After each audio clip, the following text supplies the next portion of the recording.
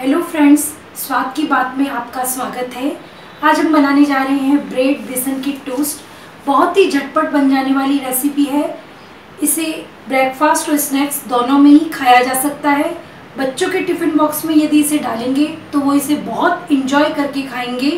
तो आइए बनाते हैं कुछ क्विक लेकिन बहुत ही डिलीशियस यदि आपको मेरी रेसिपी पसंद आती है तो उसे लाइक करें। कमेंट करें शेयर करें और मेरे चैनल को सब्सक्राइब करना ना भूलें।